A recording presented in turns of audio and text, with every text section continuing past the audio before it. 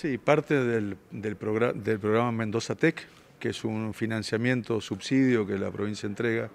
Son 11 proyectos por 870 mil dólares entre los 11, que buscan la integración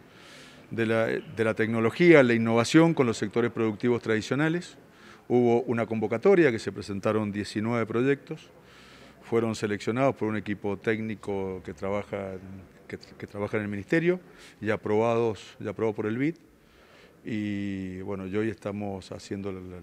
digamos, la firma de esos convenios. El primer paso de lo que estaremos por comenzar en los próximos días de la Agencia de Ciencia, Tecnología e Innovación de la provincia, que es cómo integramos a los sectores productivos de la provincia con la innovación, con la ciencia, para que mejoren su competitividad y, en ese sentido es que vamos a ir entregando, vamos a ir como, como esta convocatoria, vamos a ir haciendo con la agencia otras convocatorias para que la ciencia y la innovación se vayan juntando más con los sectores productivos y que mejoremos su productividad, sus exportaciones, su generación de empleo, en cada caso para que la economía de Mendoza crezca.